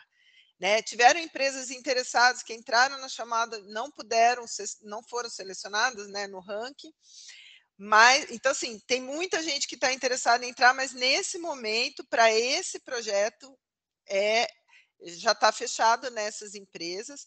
A gente vai abrir a segunda fase, né? É, e vai também selecionar o perfil das empresas que vão entrar no projeto, também com esse papel, né? De apoio técnico, consultivo e financeiro, né? Para desenvolvimento da, da segunda parte. Então, assim, é, as empresas, elas, as cooperativas agora, elas não têm como acessar nesse nível que as, essas empresas já acessaram, mas elas podem ser colaborativas no sentido de, ah, eu, eu tenho já uma fazenda que a gente está desenvolvendo projeto, então eu gostaria de candidatar essa fazenda para a unidade piloto, por exemplo. Né? Então, ela pode entrar como candidata ela pode ir acompanhando as notícias que vão saindo. E quando o selo for lançado, elas vão poder utilizar como qualquer outra pessoa, acessar certificadoras, né? É, e, e, obter esse selo se atingir os, os requisitos sem nenhum tipo de restrição. Não sei se ficou claro. Ficou sim. Obrigado.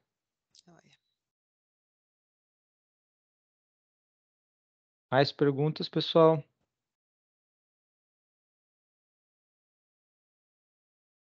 Um de cada vez, galera. Eu ia fazer uma pergunta para o Eliseu. É, aproveitando aí o case que ele apresentou, Eliseu, assim, do momento que vocês é, entenderam ser relevante seguir no caminho ali da, da geração de crédito e pensando na comercialização, Quanto tempo você estima aí que desde da concepção do projeto até o primeiro crédito negociado vocês levaram? E aí, se você também puder falar um pouquinho aí de qual foi a parte que vocês mais bateram cabeça no sentido de convencimento e apaziguar os ânimos também, ia ser legal para a gente poder ouvir um pouquinho. É, só pegando um pouquinho de time, e aí ele tem muito a ver com a fonte que que a gente mais investe, que é a fonte hídrica. É, do início da concepção de um projeto até você pôr ele de pé, a gente está falando principalmente pela, pela dificuldade que tem, mas não digo dificuldade, mas pela complexidade que é o licenciamento ambiental, a gente está falando de uns entre seis e sete anos. E aí a, a função, pegar 2012, sete anos antes, o mercado, na, a nível nacional, o próprio mercado de crédito carbono estava engatinhando, estava bem embrionário ainda. É, mas falar de quando a gente começou a modelar realmente dentro do, do, dos modelos econômicos financeiros e começar a considerar crédito carbono, eu posso dizer que foi de 2006 até 2009, um pouquinho antes, foram uns, uns quatro anos. É, dificuldades, que a gente mais achou, onde mais bateu cabeça nas palavras, primeiro foi em poder, é, bom, a, a, atividade de geração, ela tem um fim, que é gerar energia e, e ter viabilidade para os seus proprietários. Né? Então a gente é, teve alguma dificuldade em monetizar isso, é, buscando na época assessorias nacionais, algumas externas, algumas experiências de outros geradores, enfim, para poder colocar isso dentro do modelo e, e ver se fazia sentido.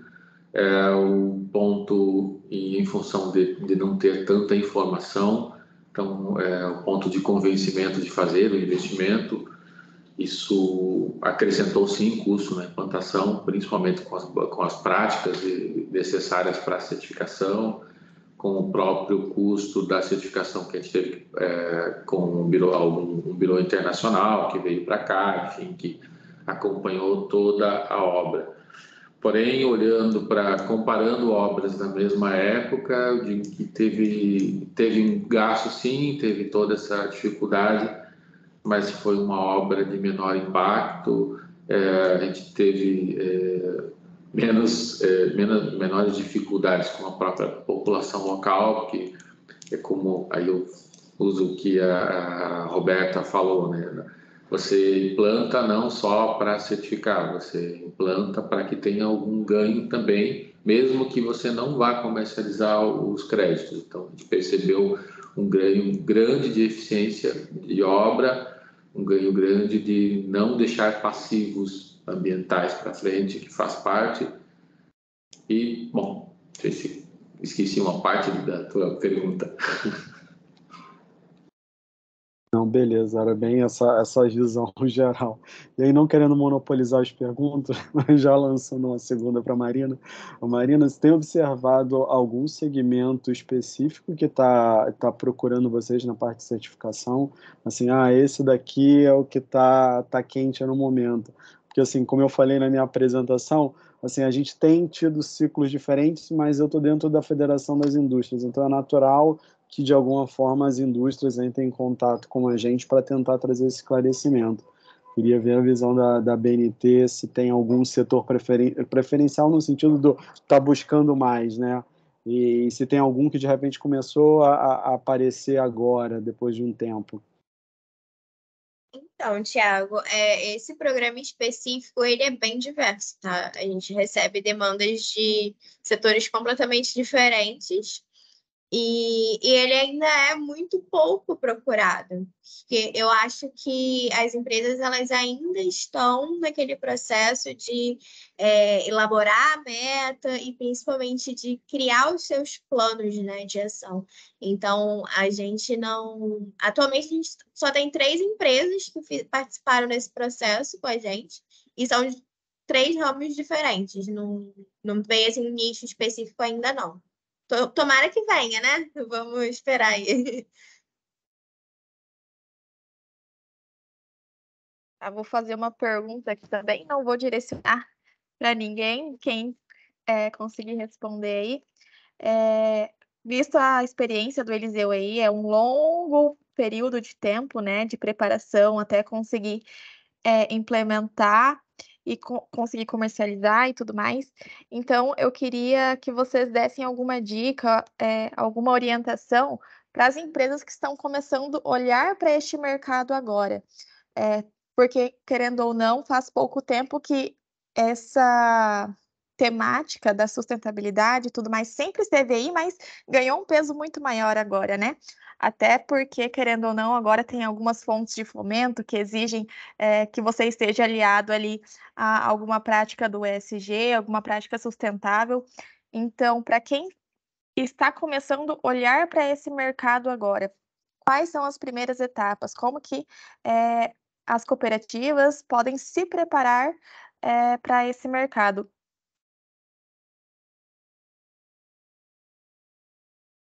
Não sei quem vai responder. Começou começou a entrar uma mania de falar muito. É, eu acho que o primeiro passo, de fato, é a empresa ter a empresa cooperativa é, ter uma boa governança das informações dela. Eu acho que isso é, é, talvez seja o grande desafio quando a gente pensa num projeto de geração de crédito de carbono, é ter essa boa documentação, essa boa capacidade de reportar o antes, que é a linha base, e aí quando a gente pensa num projeto de crédito de carbono, você precisa ter essa linha base bem definida, então ter toda uma, uma capacidade de gestão desse histórico, de como era antes, de quais eram as condições que eram operadas antes, e documentar todo esse avanço do projeto, é, eu acho que é o ponto fundamental, acho que é o primeiro passo. Antes da gente pensar assim, ah, não, vamos ganhar dinheiro com crédito de carbono, eu vou negociar, vou ficar rico, vou vender em dólar, o dólar está variando muito, está ótimo, maravilha. Mas antes disso, eu acho que você precisa ter uma boa governança dos dados, boa governança dos cenários anteriores e posteriores que você se propõe a, a, a desenvolver. E aí o segundo passo é sim olhar quais são os projetos de crédito de carbono da sua região ou que tem maior aderência à sua região e pedir um auxílio técnico. De fato, esses projetos, quando a gente começa a, a desenhar, uh, ter uma assessoria técnica na hora de compor esses projetos de geração de crédito de carbono, eles são muito importantes para que a empresa não fique andando em looping, para as cooperativas não ficarem perdendo tempo à toa e ser algo um pouco mais direcionado, algo que compense mais financeiramente. Pá, temos duas mãos levantadas. Ótimo, Roberta levantou primeiro, vamos lá. Bom, assim, é, pela visão da Embrapa e da agropecuária, eu diria que o primeiro passo é começar a estocar carbono, né? Antes de querer vender. Então, acho que esse é o primeiro dos primeiros passos. Ah, a gente ainda não tem o protocolo pronto, mas não existe nenhuma fórmula mágica por trás do protocolo. A gente só está oficializando né, práticas que a Embrapa já desenvolve há 50 anos e todas são públicas. Então, a partir do momento que as cooperativas já quiserem estimular seus produtores a é, utilizarem boas práticas na fazenda, né, é, fazer um plantio direto bem feito, usar uma boa é, inoculação da soja, usar um, todos, enfim, tem uma série, não vou repetir a palestra, mas tem uma série de boas práticas né, que levam a esse sistema sustentável. Então, eles podem começar a trabalhar isso, né, e começar a estocar esse carbono quando o protocolo estiver pronto e a certificação já estiver disponível, ele já vai poder é, passar por essa avaliação de maneira bastante rápida e, e é, comprovar que ele já conseguiu isso e ter o selo. Né? Isso vai dar acesso a, a, a crédito, a seguro mais barato, a, a valor agregado na, na, soja, um valor diferenciado, né? É, e aí, potencialmente, ele está muito mais perto de acessar aí um mercado de carbono, porque ele já tem comprovação daquilo que ele fez. Né? Ele tem práticas como plantar árvores também e, e, integrado à lavoura, que isso vai garantir uma quantidade, uma fixação de carbono maior que é exigido na questão do mercado de carbono, né? A manutenção não adianta só sequestrar num ano e queimar no outro. Então, ele tem que ter a manutenção desse carbono.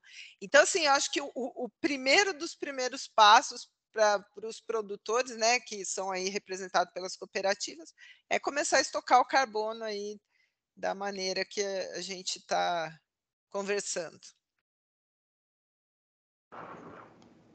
Bom, muito bom dia a Vanei aqui da Copacol também, sediado aqui no CPA. Ah, todo mundo está me escutando? Sim? Beleza. Sim. Ah, uma, uma parte da, pergunta, da minha pergunta, a Roberta ela já respondeu, né? vendo aqui as explanações, né? O Thiago passou aqui, né? A, os passos, né? Para a gente estar tá aqui sendo inserido no mercado de carbono, né? Então, a, minha pergunta vai ser voltada aqui para a Roberta, né? Em última análise aqui a gente trabalha praticamente com fotossíntese, né? A gente está agregando diariamente carbono no nosso sistema, né? Uh, quais métodos vocês veem como mais promissores de medir o, o carbono fixado, Roberto? Sim, tem alguma expectativa? A gente vai medir carbono no solo, a gente vai medir por aquilo que a gente está exportando de produção, né? Então, quais seriam as, as maneiras mais eficazes da gente realmente medir aquilo que a gente está agregando no sistema. Esse é um dos temas que mais de 70 cabeças têm se debruçado aí para chegar nessa resposta, né?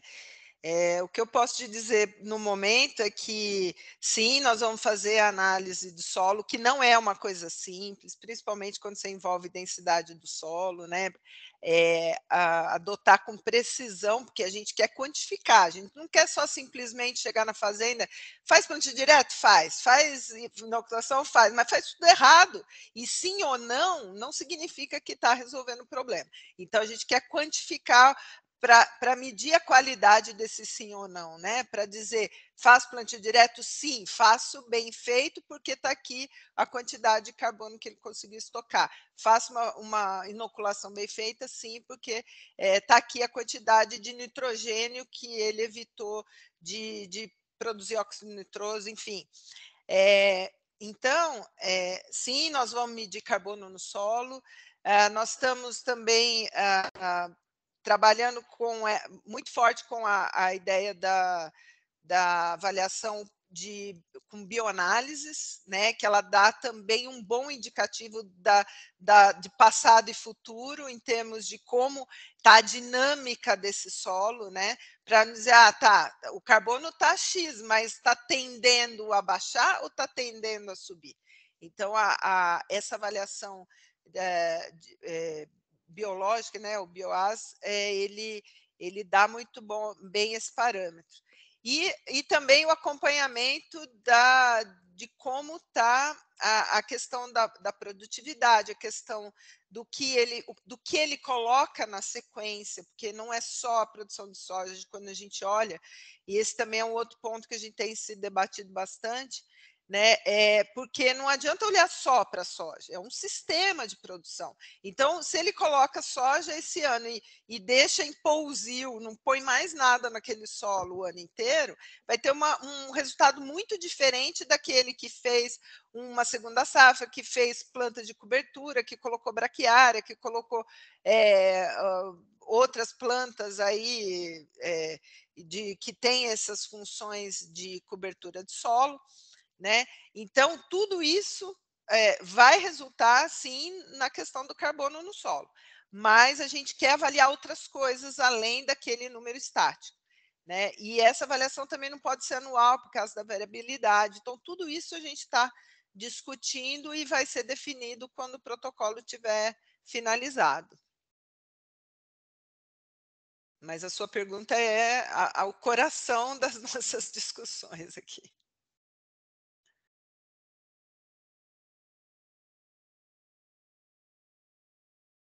Pessoal, mais alguma pergunta?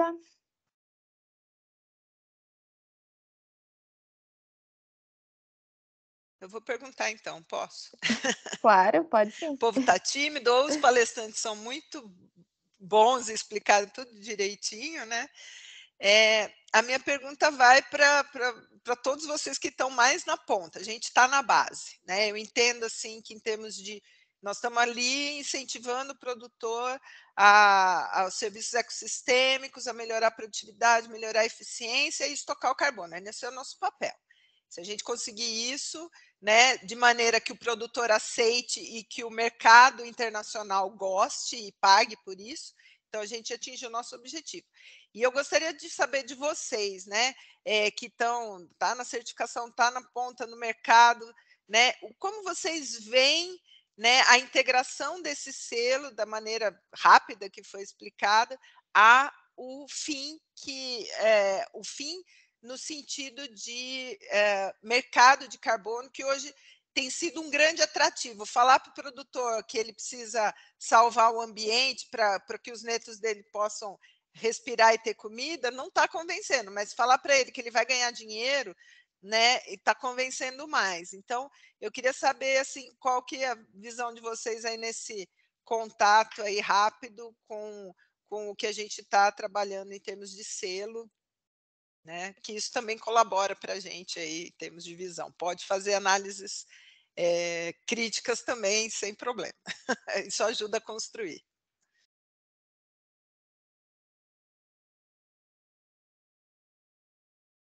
Bom, Roberta. Tiago, por favor, fica à vontade. Não, fala, Ronaldo.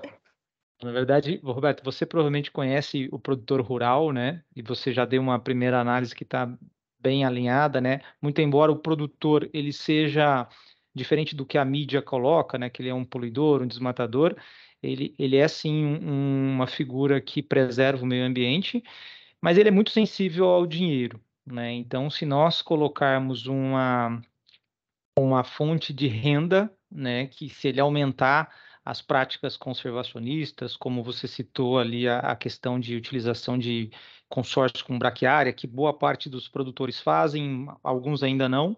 Então, se nós conseguirmos pagá-lo por isso, é totalmente diferente, né? A gente entende que vai ter uma, uma grande guinada aí nas boas práticas para a retenção de carbono no solo.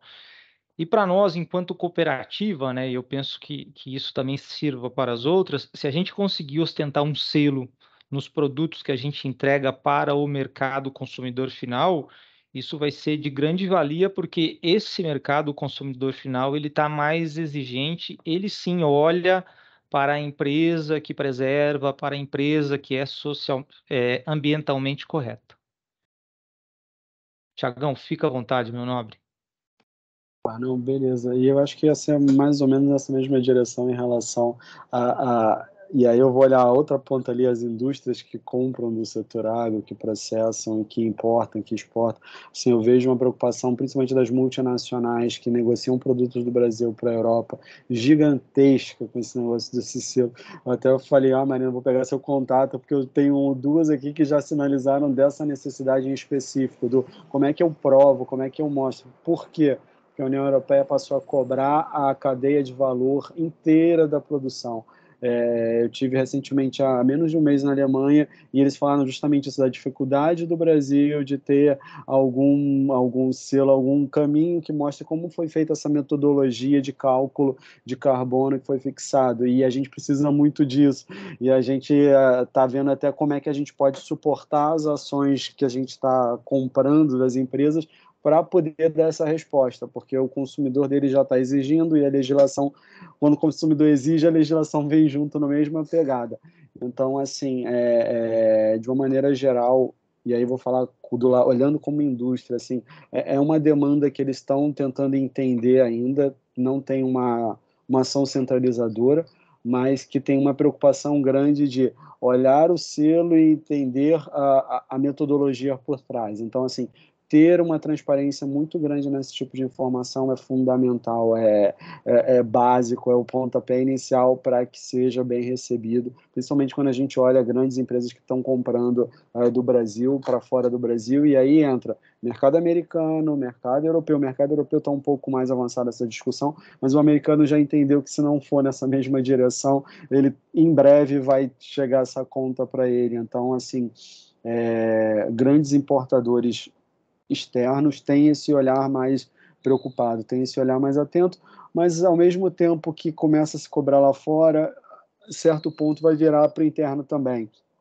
Então, a própria cadeia de valor dessas grandes empresas que a gente trabalha aqui é, é, já tem sinalizado da necessidade de entender quais são os selos das metodologias de cálculo de carbono e, e mostrar quanto de pegada tem o produto dele, como ele está fazendo para reduzir essa pegada, é, como algo importante para comercializar com essas grandes empresas, porque é, de fato, avançar no escopo 3 ali de inventário de carbono é, é uma coisa que deu uma agitada no mercado, deixa todo mundo, e agora? O que, que eu faço? Como é que eu vou? Então, assim, no caso do crédito de carbono, aí pegando agora o gancho só da fala do Ronaldo, é, ter esse plus, de, além de reduzir, viabilizar esse comércio com grandes uh, empresas multinacionais, uh, adicionar essa pimenta aí do também posso gerar crédito e comercializar, com certeza é um plus assim bem, bem uh, forte que abre mercado e você ainda ganha vendendo esse, esse crédito. Mas aí, olhando de novo, só fazendo a conclusão aqui, é, eu acho que para as grandes empresas que trabalham com importação, hoje em dia, isso é, isso é o pontapé inicial, mas a, a, metodologia ela tem que ser muito transparente, tem que ser muito fácil de, uh, de uma criança escanear ali aquele código e olhar assim, ah, papai, ó, foi assim que foi feito. É quase nesse sentido.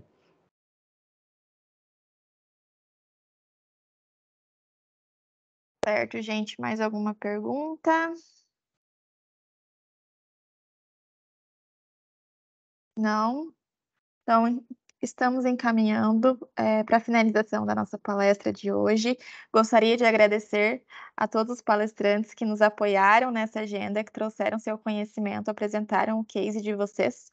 Acredito que tenha acrescentado muito na experiência de cada um aqui e espero que surjam novas conexões a partir disso. Já ouvi ali que o pessoal falou, já peguei seu contato, vou é, conversar depois, né? Muito bom. O objetivo do Habitat Senai Agro é exatamente esse. Então, muito obrigada, Tiago, muito obrigada, Roberta, muito obrigada, Marina, muito obrigada, Eliseu, Ronaldo, por fazer toda essa mediação e a todos os presentes aqui também. É... Então, eu só vou compartilhar a minha tela aqui, porque assim como no início que eu pedi para vocês fazerem o check-in, agora eu preciso que vocês façam, então, a avaliação do evento. Só um minutinho. Estão vendo minha tela? Sim. Tá, só um minutinho que eu vou encaminhar o link no WhatsApp também, é, no, aqui no chat também.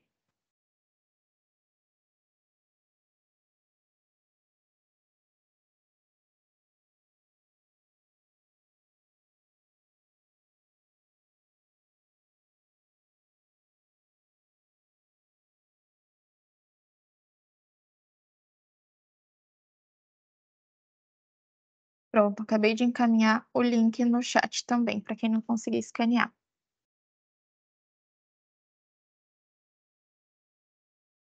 Para a minha tela preta, não está aparecendo. Não sei se é para todo mundo. Tá todo mundo? Deixa eu mudar de slide aqui. Voltou? Senão eu paro de apresentar e volto de novo. Eu estou visualizando, mas eu estou seguindo pelo link no chat, tá? É, eu tô. Para quem não conseguir visualizar, então, se aparecer tela preta para alguém, tá com o link aqui no chat que vocês podem acessar que vai para o mesmo lugar.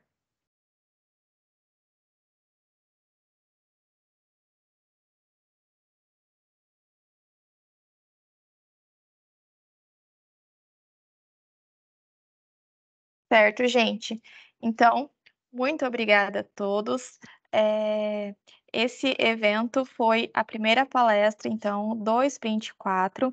Nós temos é, mais uma palestra no mês que vem, como eu disse no início, é, esse projeto ele tem um ciclo mensal de palestras, então, todos os meses nós trazemos temáticas relevantes para o agronegócio aqui. E a temática do próximo mês vai ser o crescimento da economia digital, integrando os diferentes elos da cadeia produtiva tá? Então, aí nos próximos dias, a gente já vai entrar em contato com vocês, divulgar todas as informações da próxima palestra. Então, para a gente finalizar agora, eu gostaria de solicitar para vocês que vocês abram as câmeras para a gente tirar um print e registrar esse momento. Quem puder, por gentileza.